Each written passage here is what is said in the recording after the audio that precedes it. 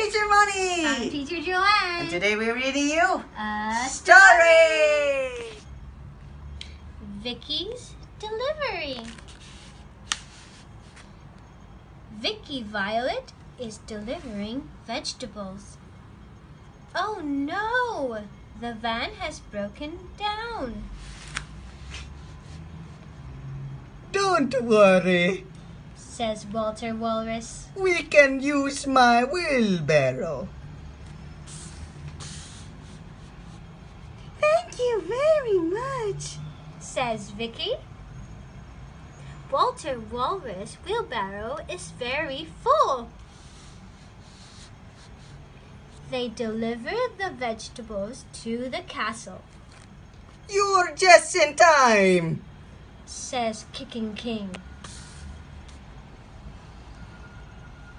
I need these tasty vegetables for the Christmas dinner I'm cooking.